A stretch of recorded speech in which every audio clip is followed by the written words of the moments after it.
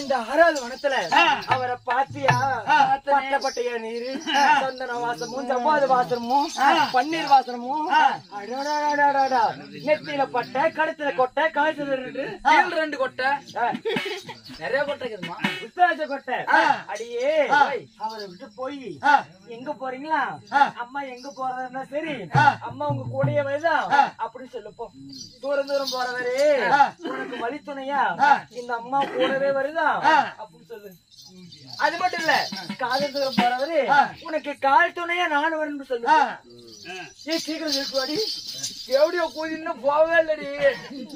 காவடி சாமி காவடி. தூரம் தூரம் போறவரே தோல் துணையா நானும் வரேன். காதம் காதம் போறவரே உங்களுக்கு கால் துணையா நானும் வரேன் சாமி. அப்படின்னு ஒரு பொம்னாடி சொல்லுதுங்க. சரி ரெடி சொல்லாத அவரு? அது வயசு பொண்ணு இருக்க இருக்கத்தான் செய்யும். இப்போ. நான் பெரிய மனுஷரு. அதுக்கு ஒரு தகுந்த மாதிரி நீதி வாங்கிட்டு சொல்லிக்கிட்டு போயிட்டே இருக்க. ஆமாங்க? இதை மட்டும் கொடுங்க. கொடுங்க தந்துறேன். தந்துறேங்க கொடுங்க. அம்மா, தாயே.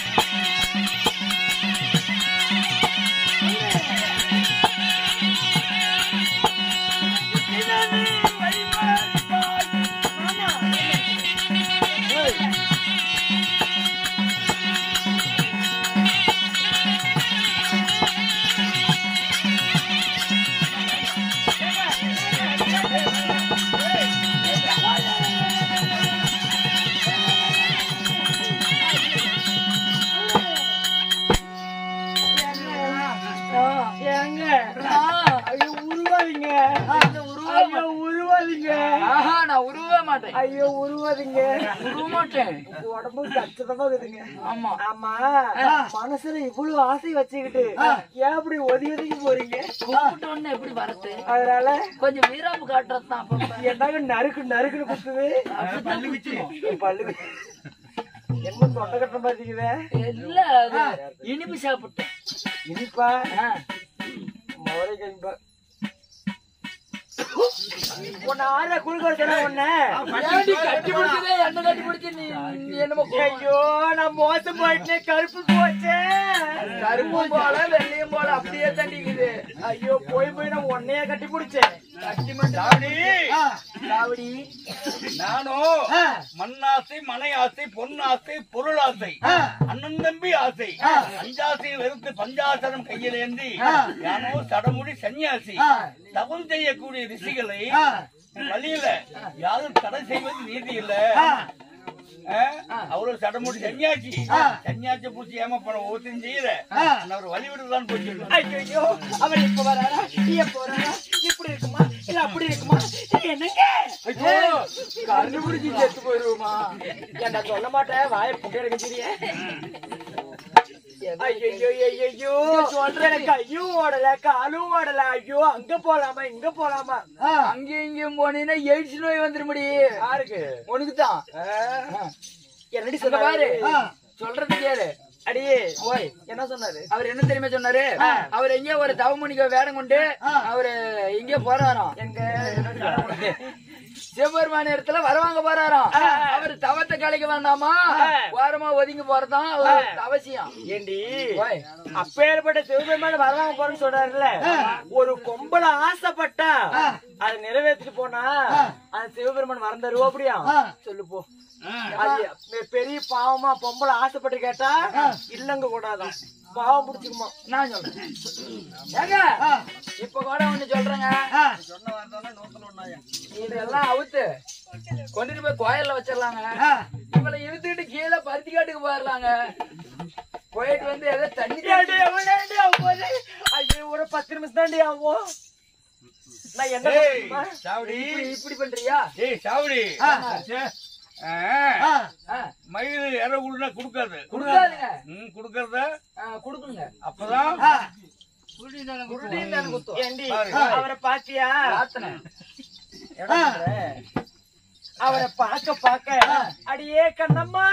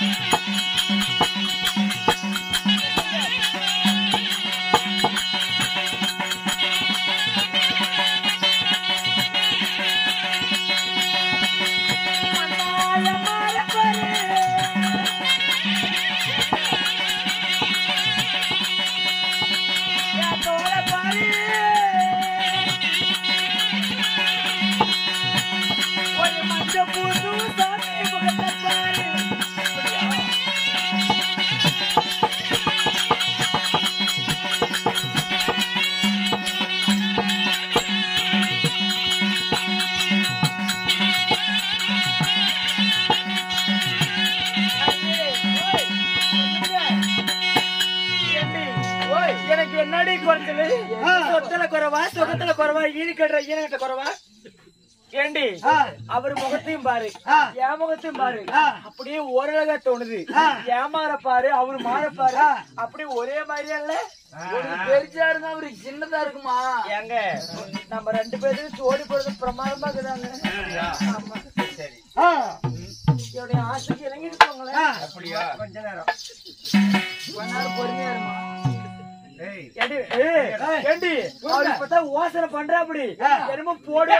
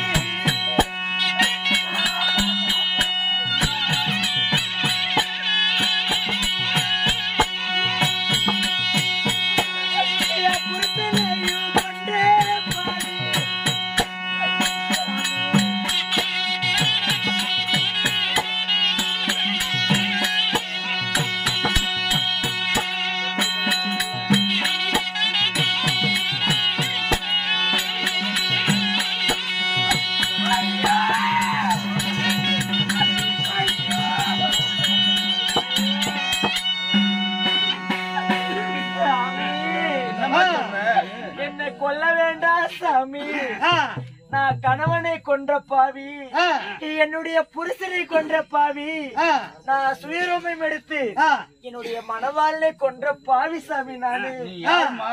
ஐயா இந்த வேங்கை வனத்திலே வாழ்ந்திருக்கூடிய கொர மகாராஜ் புலி மகாராஜர் பெற்றெடுத்த மகள் நான் தான் வேங்க கண்ணி. சரி. ஐயா சுவாமி.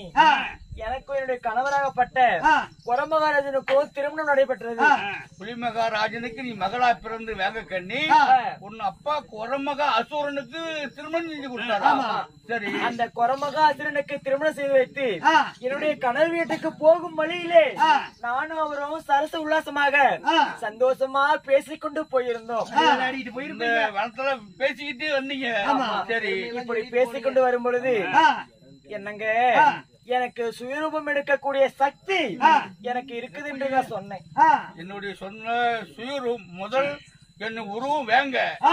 இப்ப நான் சுயரூபத்த மாதிரி பெண்ணா இருக்கிறேன். ஆனா நான் சுயரூபம் எடுக்கக்கூடிய சக்தி எனக்கு இருக்குது என்று சொன்னவுடன் என்னுடைய கனகரா கனகராகப்பட்டவர் அடியே வேங்கக்கண்ணி உன்னுடைய சுயரூபத்தை நான் பார்க்க வேண்டும் என்று சொல்லி ஆசைப்பட்டார் சுவாமி. இந்த பெண்ணா இருக்கிற. உன் சுயரூபத்தை எடுத்து உன் சுயரூபத்தை எனக்கு காட்டு. அப்படி கேட்க. என்று ஆசைப்பட்டார். நான் எத்தனையோ வார்த்தைகள் எடுத்துரைத்தேன். சுவாமி நான் சுயரூபம் எடுத்தா தாங்க மாட்டீங்க. தேவையில்லாத விபரீதம் நடந்துவிடு சுவாமி என்று சொன்னேன். நான் சுயரூபம் தரிச்சா என்னுடைய சுவாதீனம் என்னுடைய புத்தி என்கிட்ட இருக்காது. இருக்காது என்று சொன்னேன். சரி. அதற்கு என்னை வற்புறுத்தி அம்மா உன் சுயரூபத்தை பார்க்க வேண்டும் என்று சொல்லி ஆசைப்பட்டார். ஆசைப்படுறேன் உன் சுயரூபத்தை கா- எனக்கு எடுத்து சுயரூபத்தை காட்ட மாட்டேங்கிறியா. நான் சொன்னவுடன் என்னங்க? நான் நீங்க ஆசைப்பட்டு கேக்குறீங்க. நான் சுயரூபத்தை எடுப்பேன். நான் எடுக்கும் பொழுது நான் ஆக்ரோஷமா இருப்பேன். அதனால உங்களிடத்திலே மூன்று மந்திர கற்களை தருகிறேன் என்று சொன்னேன். மூணு கல்லு மந்திரிச்சு கணவன் இடத்துல கொடுத்துட்ட மாறணும்ல? அதனால நான் தனியா நிற்கும் மறைமுகமா இருந்துதான் நான் சுயரூபத்தை எடுப்பேன். அப்பொழுது ஆக்ரோஷமா ஆ என்று கத்துவேன். அப்பொழுது ஒரு கல்லை போடுங்க என்று சொன்னேன். அதுவும் மீறி? அதையும் மீறி கிட்ட வந்தால் இரண்டாவது கற்களை போடுங்க என்று சொன்னேன். நான் கடைசியா மூன்றாவது முறையாக உங்களை கொல்ல வரும்பொழுது அந்த மூன்றாவது கற்களையும் கீழே போவேன் மேலே போட்டு சாமி என்று சொன்னேன். அதற்கு நான் முதல் முறையாக சுயரூபம் எடுக்கும் பொழுது சுயரூபம் எடுக்கும் போது ஆக்ரோஷமான ஒரு எடுத்திருக்க அவர் சத்தத்தை கேட்டவுடன் மூன்று கற்களையும் தூக்கி வீசி விட்டார். அதனால மந்திரிச்ச கல்லு போட மறந்து போயிட்டாரு. மறந்ததுனால நான் ஆங்கார கோவப்பட்டு அவர் சுயரூபத்துல உன் புத்தி ஒண்ணுகிட்ட இல்ல. அப்புறம் என்ன செஞ்ச? அவரை அடித்து கொன்று விட்டேன் நான் கணவனை கொன்ற மாப்பாவி. ஏன்னா என் கணவனை கொண்டவுடன் என்னுடைய தாய் வீட்டுக்கும் வழி தெரியாது. போக போக முடியாம என்னுடைய கணவர் வீட்டுக்கும் போகாம இந்த ஆறாவது இடத்துல இருக்கிற சாமி. இந்த வனத்துல வரையிலும் போறீங்க வழி மறிச்சிட்டு இருக்க. சரி. அதனால இந்த வழி மறிச்சு நான் கைலைக்கு போகணுமா? ஐயா சுவாமி என்னுடைய கணவர் இல்லாம என்னுடைய மன்னருடைய மாளிகைக்கு நான் போக முடியாது. அதனால எனக்கு கணவன் வரம் வாங்கி வாங்க சுவாமி. ஓஹோ. நீ கைலிக்கு சிவபெருமானம் தரிசிக்க போற. என்னால முடியாது. நீ கைலிக்கு சென்ற உடனே இழந்த கணவனை மீட்டு தரும்படியாக உன் கணவன் உன்னோடு வாழும்படியான வரம் வாங்கிட்டு வாழும் தெரிவிக்கின்றாய் நான் ஏதோ அறியாத புத்தியில தெரியாம தவறு செய்திருப்பேன். என்னை மன்னித்து சரி, சரி. இப்படி தவசின்னு தெரியாம நான் உன்னை வழிமறிச்சிட்டே அதனால நிச்சயமா உனக்கு கணவன் உனக்கு கிடைக்கும்படியாக சிவனிடத்துல வர வாங்கி மீண்டும் நீ கணவனோட வாழும்படியாக உனக்கு வர வாங்கிட்டு வரேன்.